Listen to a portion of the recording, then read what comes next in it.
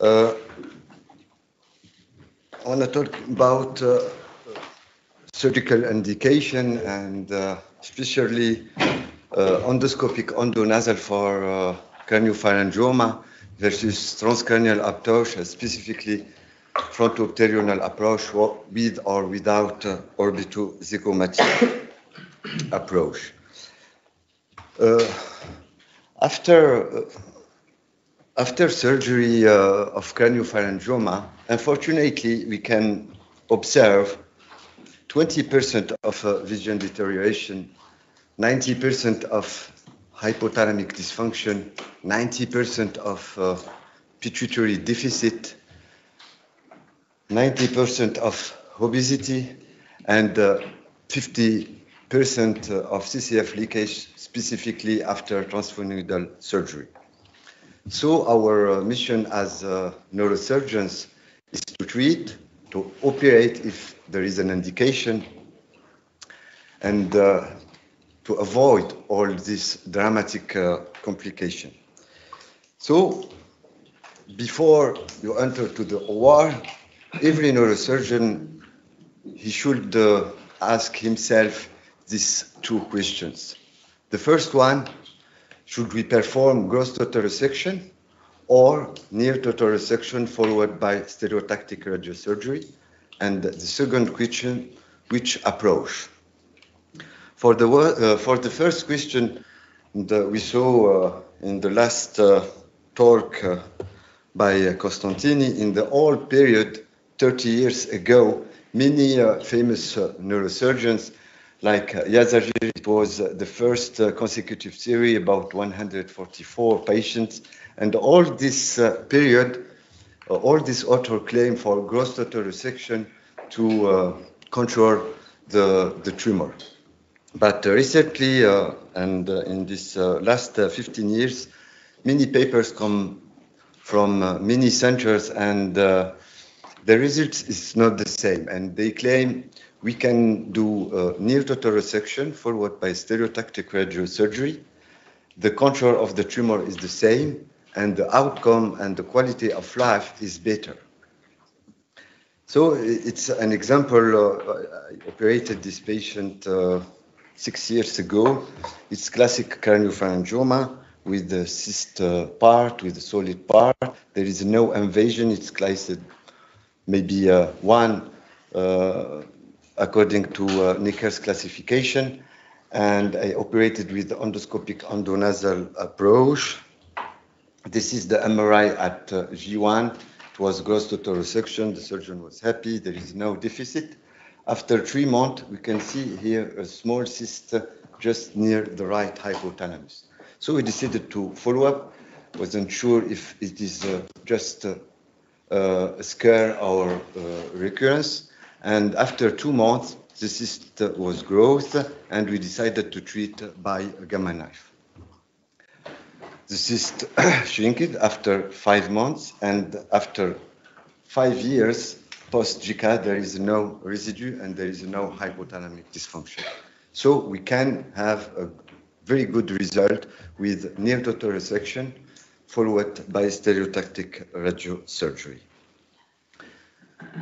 The the paradigm is if we can do gross total resection, go ahead for the gross total resection, especially if there is no invasion of the hypothalamus. But if there is an invasion, if there is a risk of hypothalamic syndrome post-operatively, it's better to do near total resection followed by stereotactic radiosurgery. Uh, for the second question, which approach? We have many approach, and I'm talking about extended endoscopic endonasal approach and the frontotemporal Okay. approach. This is two cases of uh, craniopharyngioma, and it's completely different, and the approach is completely different. For the first case, we have a classic uh, cyst part with the solid part, but here we can see this is the ACA, this is the Sylvian uh, uh, artery, and the, the tumor cross the internal carotid artery, and the cyst parts to the temporal fossa. So it's a very good indication for transcranial approach. The transcranial approach is classical. We perform four burr hole for temporal uh, uh, frontal. I, if there is uh, an important extension in the suprasellar compartment, I prefer to do an orbito-zygomatic approach because the view is better for the superior part. And uh, after uh, we opening the, uh, the dura, we can work in different uh, working uh, area. This is the optic nerve, ipsilateral, contralateral. We can work in the inter-optic space. We can work also in the optical carotid triangle here, and we can work in the lateral part of the carotid. So all this corridor we cannot reach by endoscopic endonasal approach.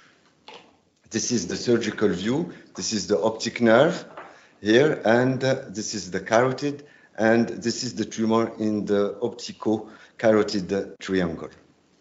Laterally, we can see the posterior communicating artery, and we can also work in this lateral space.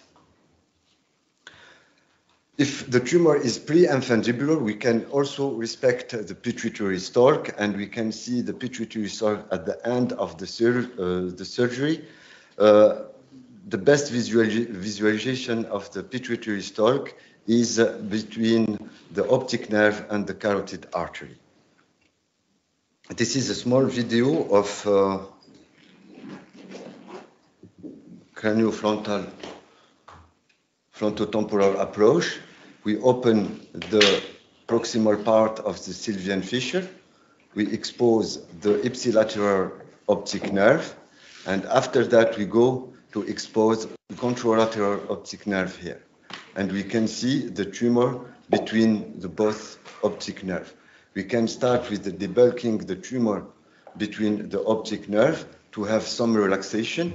And after that, we can also work uh, in the lateral uh, triangle between the optic nerve and the carotid artery.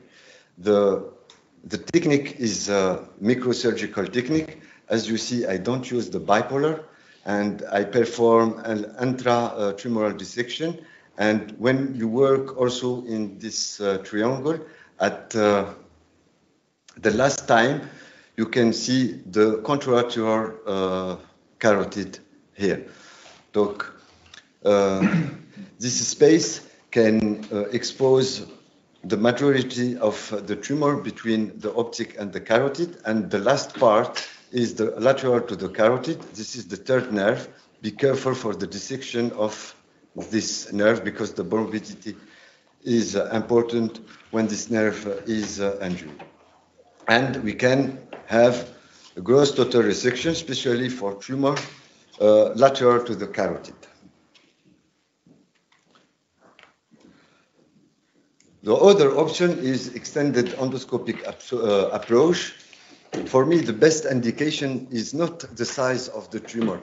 Uh, uh, the size doesn't matter, but the localization of the craniopharyngioma. If you have a craniopharyngioma in the midline, don't crossing the carotid artery, and especially in retrochiasmatic space, the endoscopic endonasal approach, it's fantastic approach because the tumor is in your corridor and you can perform grosser total resection with the respect of the hypothalamus because you see the hypothalamus. In the frontotemporal approach, the, the vision of the hypothalamus, it's not good. This is a small video of endoscopic approach. It's extended approach, so you have to prevent uh, CSF leakage.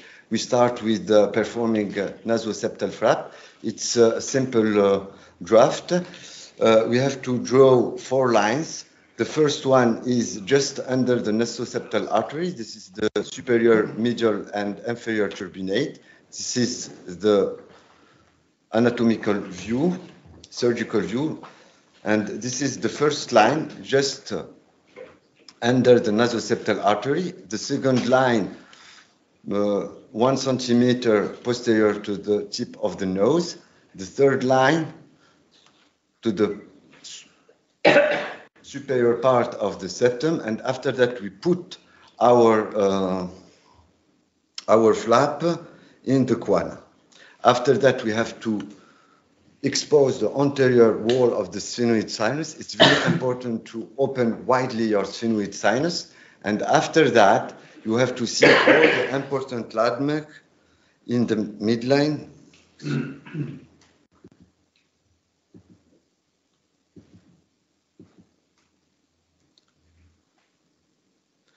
in the midline, the planum, the tuberculum, the sellar floor, and laterally the optic nerve, the carotid artery, and especially the medial optico-carotid recess and the lateral.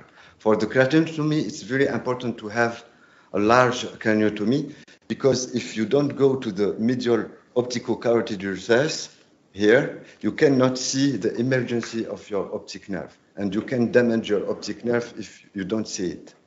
So it's very important to have a good exposition. This is the anterior intercavernous sinus. We coagulate the anterior cavernous sinus. After that, we open the dura and we are in front the tumor here. The technique is the same.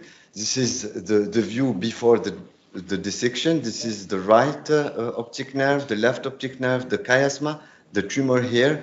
This is uh, the superior epiphyseal artery it supplies the chiasma and the optic nerve. So you have to respect uh, this artery, otherwise you will have a visual deterioration. Mes excuses, je rencontre quelques problèmes de connexion.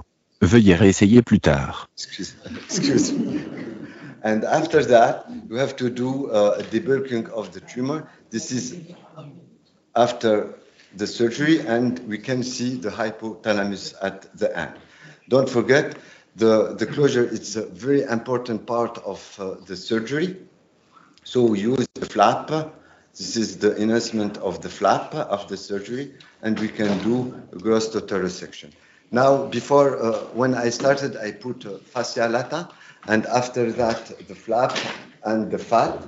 But now I put just the fat inside the defect, recovering by, by our fascia lata and the other uh, uh, of fat inside the sinus, uh, sphenoid sinus. So there is no competition uh, between the different technique between endoscopic endonasal approach, between transcranial or microsurgery, and also between radiosurgery. we have to use all this technique to uh, avoid complication and to give the best uh, approach for your patients.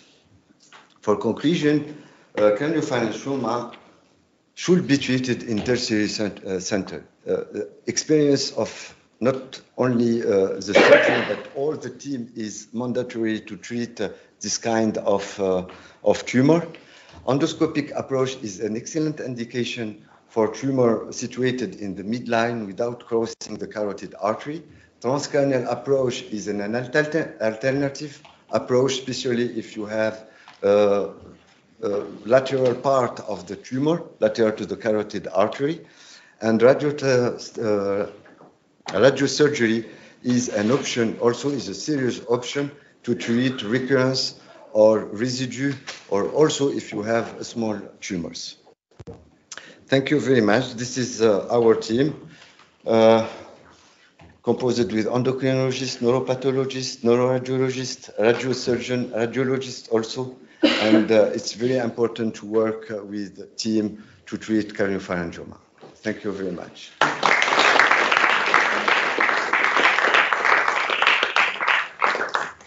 Thank you, Dr. Messerer. You kept time We caught up a lot of time actually, and it was very to the point. Very nice videos.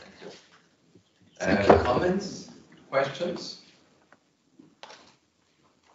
Just, just, just to mention, in, in the adult arena, Single shot radiation therapy, also coined as radiosurgery, is more common.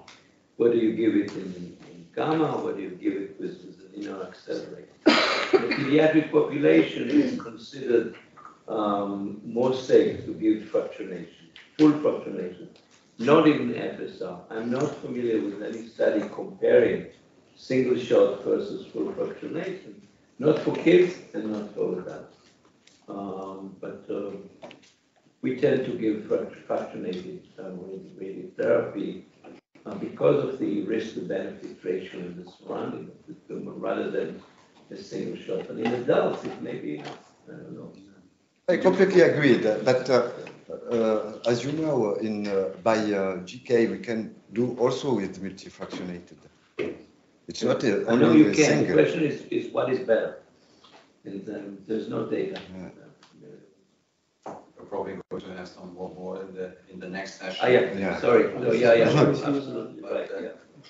Do you perform um, SRS, with uh, gamma knife SRS? in- in- Yes. Do you yes. have examples in mind where you did it up front without taking this Uh, especially uh, uh, example for uh, huge meningioma inviting uh, No, for craniopharyngioma. For craniopharyngioma, uh, off the I- top of your head, probably not. No, Probably the first yeah. uh, surgery you choose is in surgical yeah, but, but we can do fractionated in other pathology, not in craniopharyngioma because the residue generally is very small. So certainly a topic for discussion Yeah. afterwards. Thank you very much.